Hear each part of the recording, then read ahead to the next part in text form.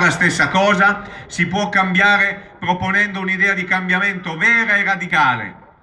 Luigi in campagna elettorale diceva, scusate io non lo so dire bene, ammascassà, non so quanto l'ho detto bene, ma insomma il messaggio era chiaro. Io credo che questo è il problema che ci abbiamo. Ammascassà, ma ammascassà con un progetto chiaro di cambiamento e il progetto è la partecipazione della gente e rompere la separazione. E allora io penso che questo è il grosso messaggio che è venuto da Napoli, ma guardate il grosso messaggio che è venuto dai referendum sull'acqua, perché nessuno di noi si aspettava di vincere quel referendum in quel modo. Eppure quella vittoria è stata una vittoria contro un'idea che è passata in Italia da tutte le parti, nel centrodestra come nel centrosinistra, che le cose potevano funzionare solo se si privatizzava tutto. Eppure la maggioranza degli italiani, forse perché ha visto gli effetti delle privatizzazioni, ha votato in maggioranza per l'acqua pubblica. E qua bisogna denunciare una cosa, e io parlerò un po' di Berlusconi, ed è la prima cosa che voglio dire. Il governo Berlusconi nella manovra non ha solo messo che non ci sono più i contratti nazionali di lavoro. Nella manovra il governo Berlusconi ha riproposto per intero quei pezzi della legge Ronchi che il referendum aveva abrogato e col cavolo che questo governo ha intenzione di dar corso a quella che è stata la decisione del popolo. Questi signori della destra hanno, si riempono la bocca della parola popolo tutti i giorni. Dicono che governano in nome del popolo, l'hanno messo nel titolo del loro partito, si chiamano popolo delle libertà e poi capita che il popolo voti diversamente da come loro volevano e loro se ne fregano di che cosa ha deciso il popolo. Siamo qui alla distruzione della democrazia, in cui questi, nonostante la gente abbia deciso perché non era un sondaggio, era un referendum dove la gente ha deciso e ha deciso che l'acqua debba essere pubblica, eppure questi vanno avanti come nulla fosse. E allora io penso che questo è il problema che ci abbiamo davanti, lo diceva già Gianni Rinaldini.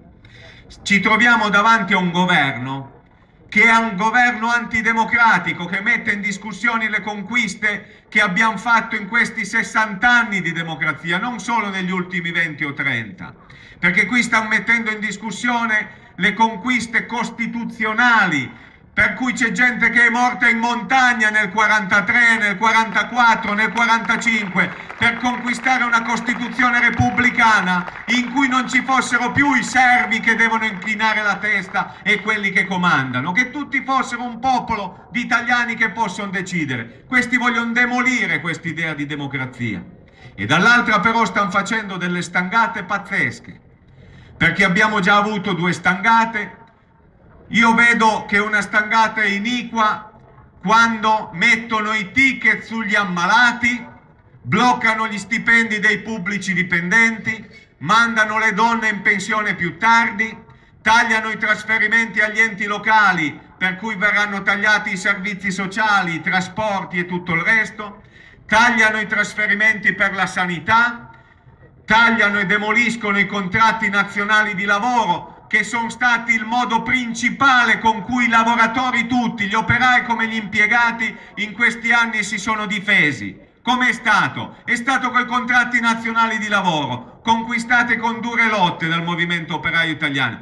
Questi da un lato demoliscono tutto questo e poi se gli si chiede di fare una tassa sui grandi patrimoni, sulle grandi ricchezze, su quelli che non sanno che cosa farsene dei loro soldi, questo non si può fare, perché dicono che se si fa la patrimoniale i padroni si spaventano, i mercati si spaventano e vanno a investire da un'altra parte. Per questo diciamo che la manovra è iniqua, perché fa pagare sempre agli stessi, che visto che sono già abituati a pagare si può continuare a farlo, e a quelli che hanno 5 o 6 Ferrari, che hanno il panfilo da 50 metri, che hanno le case in tutto il mondo e le ville come Villa Certosa del presidente Berlusconi, questi non pagano un euro. È un governo antipopolare perché difende i privilegi dei ricchi e degli speculatori contro la massa popolare, contro la gente che lavora, contro i commercianti, gli artigiani, i piccoli imprenditori, gli operai, i disoccupati, quei giovani precari che non avranno mai un posto di lavoro. ci parlano della difesa della famiglia, ma che famiglia si può fare un giovane di 20 anni che dovrà stare precario tutta la vita e non gli darà mai una pensione? Ma che famiglia si fa? Siamo un governo che parla in un modo e razzola in un altro. Per questo va mandato a casa. E poi siamo un governo che fa una manovra recessiva, perché stanno giustificando le manovre dicendo che c'è la crisi. Ma se la manovra taglia gli stipendi, se la manovra taglia i trasferimenti agli enti locali, ma la gente domani cambierà la macchina perché ha già dieci anni o la terrà ancora due o tre anni perché non c'ha i soldi per cambiarla? Io penso che non la cambierà la macchina la gente dopo sta manovra. E allora il punto che bisogna chiedersi è ma i padroni a chi le vendono le merci che producono se la gente non ha più i soldi per comprarle? Ma come si fa a rilanciare l'economia se tu continui a tagliare gli stipendi e continui a tagliare lo Stato sociale? E qui c'è un punto decisivo. La crisi che cos'è? Perché noi sentiamo parlare tutti i giorni della crisi. Ma come mai c'è la crisi?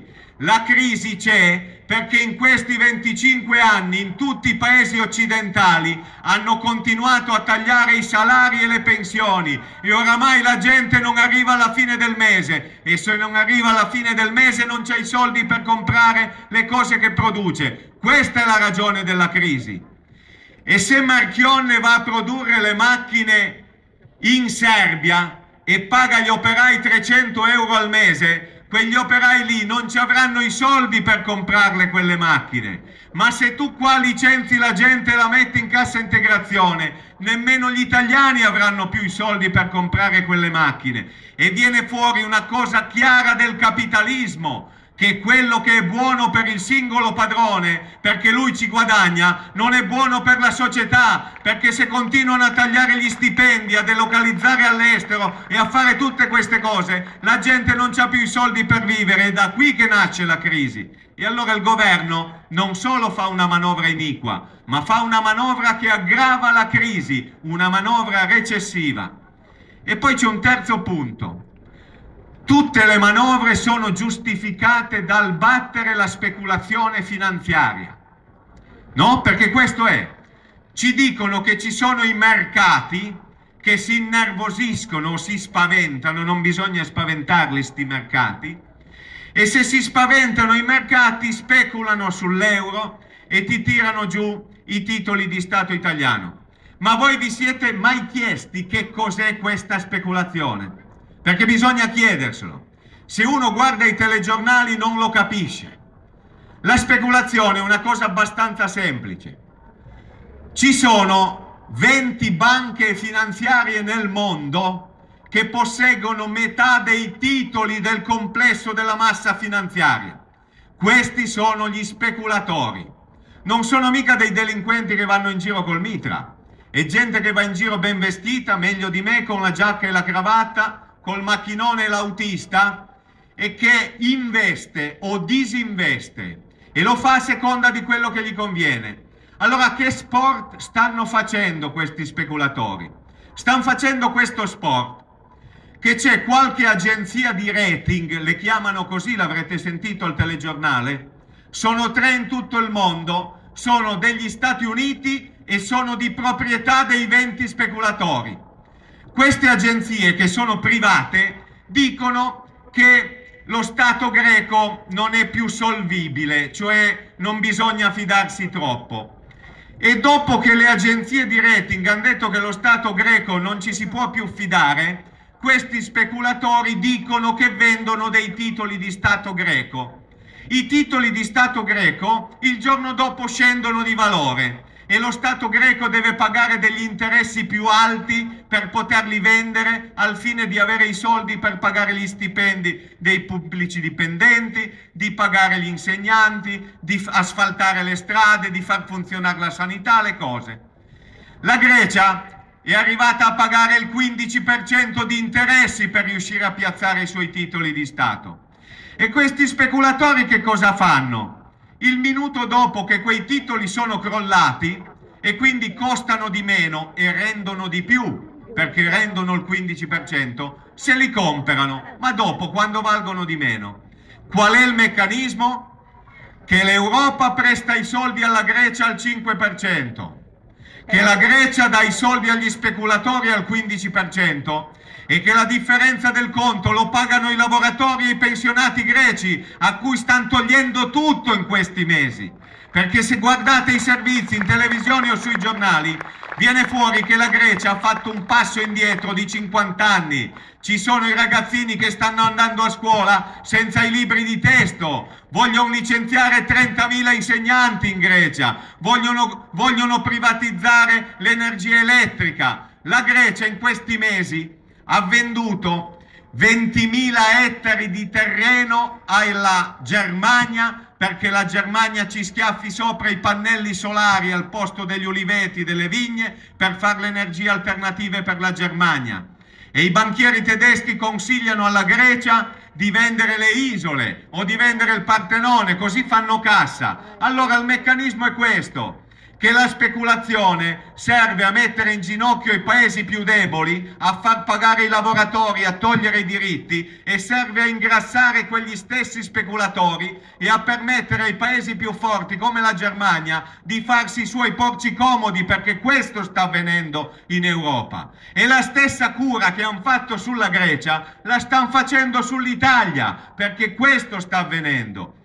E più fanno manovre come quelle che hanno fatto nell'estate il governo Berlusconi, più l'economia va giù, meno entrate ci sono nello Stato e meno entrate ci sono e più il debito si gonfia, più il debito si gonfia, più devi tagliare la spesa pubblica, più la tagli, più la crisi va giù. La Grecia con un anno di manovre ha una diminuzione del prodotto interno lordo di 7 punti e paga tassi di interesse sul debito del 15%. Ora io vi chiedo, ma qual è la famiglia che gli si riducono le entrate del 7% e deve pagare sui debiti il 15% di interesse. Non c'è nessuno che ce la fa. E infatti la Grecia la stanno strozzando poco per volta e poi diranno che è fallita dopo che hanno demolito tutti i diritti dei lavoratori.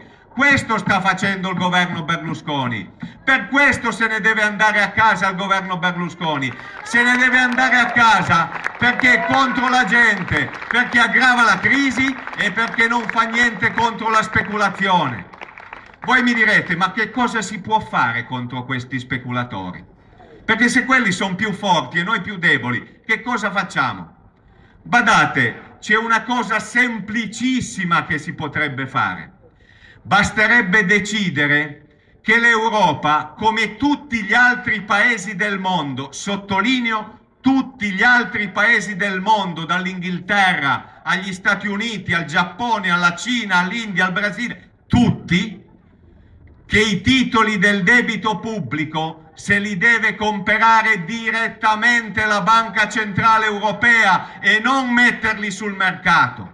Perché la cosa che succede è questa qui, Obama quando c'ha bisogno di soldi emette dei titoli di Stato e la Federal Reserve degli Stati Uniti li compra all'1% di interesse, poi dopo e gli dà i soldi in cambio. Poi dopo la Federal Reserve vedrà se mettere sul mercato quei titoli e venderli, ma lo fa dopo, non prima. L'Europa è l'unico continente nell'universo, non è mai esistita prima e non esiste in nessun altro paese al mondo che la Banca Centrale Europea presta i soldi alle banche all'1% di interesse e invece gli stati quando hanno bisogno di soldi devono andare sul mercato, cioè dalle banche e dagli speculatori a prendere i soldi e devono